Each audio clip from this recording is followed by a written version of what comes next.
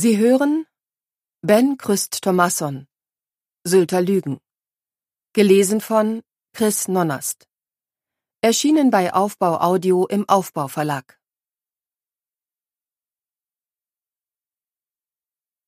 Mit der rechten Hand rückte sie ihre weiße Dauerwelle zurecht, mit der linken drückte sie die Klinke der Ladentür hinunter. Ein gefälliges Läuten ertönte, das allerdings im Stimmengewirr aus dem Verkaufsraum beinahe unterging. Trotzdem bemerkte man sie sofort. Kerstin Fromme drängte sich zwischen den zahlreichen Besuchern hindurch und kam mit ausgebreiteten Armen auf sie zu. Frau Klaassen, wie schön, dass Sie es geschafft haben. Sie schüttelte Witter die Hand und winkte einen Mann heran, der ein Tablett mit Sektgläsern bereithielt. Einen Prosecco? Ja, gern. Witter nahm sich ein Glas. Der Mann lächelte sie an.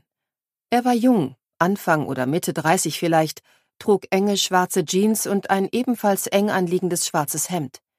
Seine blonden Haare hingen ihm ins Gesicht. Das ist Sören, stellte Kerstin Fromme ihn vor. Er wird sie später ein wenig herumführen. Sie warf einen Blick auf ihre goldene Uhr an ihrem Handgelenk. Für mich wird es jetzt Zeit. Sie legte Witter kurz die Hand auf den Arm.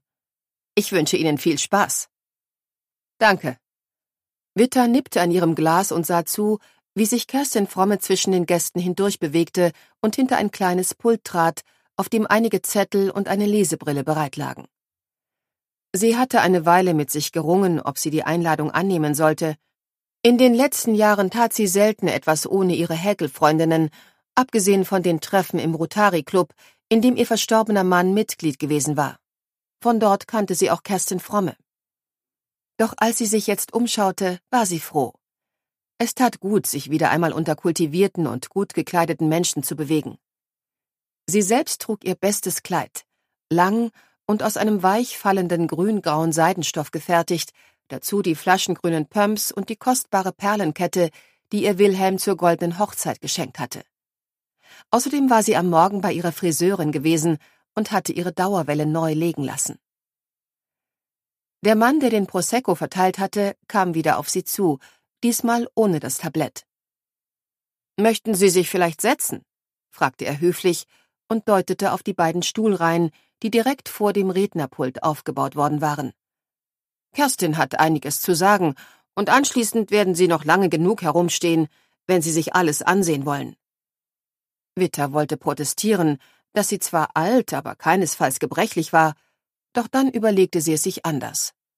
Die wenigen Sitzplätze waren sicher für die Honoratioren vorgesehen, und wenn man sie dort unterbrachte, war das eine Ehre. Gern, erwiderte sie deshalb und ließ sich von Sören, der galant eine Hand an ihren Ellbogen legte, nach vorne führen. Eine richtige Entscheidung, wie sie gleich darauf feststellte, denn der Bürgermeister und der Leiter der Stadtverwaltung, die sie beide aus dem Rotary Club kannte, setzten sich neben sie. Sie plauderte ein wenig mit ihnen bis Kerstin Fromme auf ihr Pult klopfte und um Ruhe bat. Witter wandte ihr den Kopf zu und wartete gespannt. Von einer Sensation hatte Kerstin Fromme gesprochen, als sie Witter zu der Veranstaltung eingeladen hatte, ihr aber nicht verraten, worum es sich handelte. Die große, schlanke Frau mit dem schmalen Gesicht und den hohen Wangenknochen setzte die Brille auf, legte ihre Hände auf die Ecken des Rednerpuls und sah sich im Raum um. Die langen braunen Haare hatte sie zu einer kunstvollen Frisur aufgetürmt, die von einem goldenen Band zusammengehalten wurde. Es geschieht nicht oft in unserer Branche, dass man eine großartige Entdeckung macht, begann sie, nachdem sie alle Anwesenden begrüßt und die Ehrengäste namentlich vorgestellt hatte. Insgesamt schätzte Witter, die sich ein paar Mal umgesehen hatte, mochten es an die 70, 80 Personen sein, die sich im Raum drängten.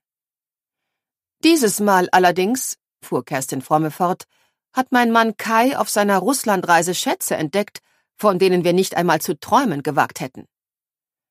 Sie winkte einen Mann heran, der wie der blonde Angestellte schwarz gekleidet war und eine enge Jeans und einen dünnen Rollkragenpullover trug.